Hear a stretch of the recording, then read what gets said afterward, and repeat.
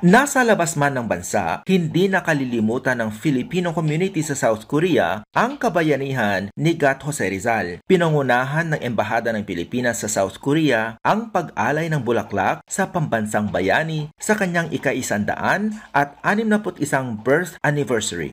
Dumalo sa aktibidad sina Ambassador Teresa Dizon de Vega, mga kawani ng embahada, pati mga nasa academic community. Panauhing pandangal din si Dr. Jom Sukyon na nagsalin sa wikang Korean ang Mi Ultimo Adios ni Rizal. Nagsagawa rin siya ng dissertation kay Rizal at sa Philippine literature.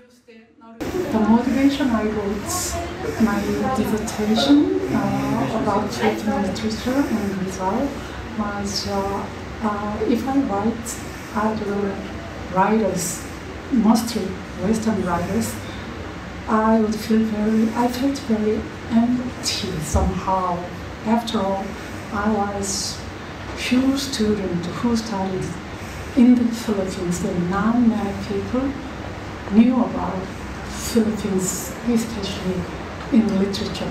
And uh, finding visa was really almost an awakening uh, to me.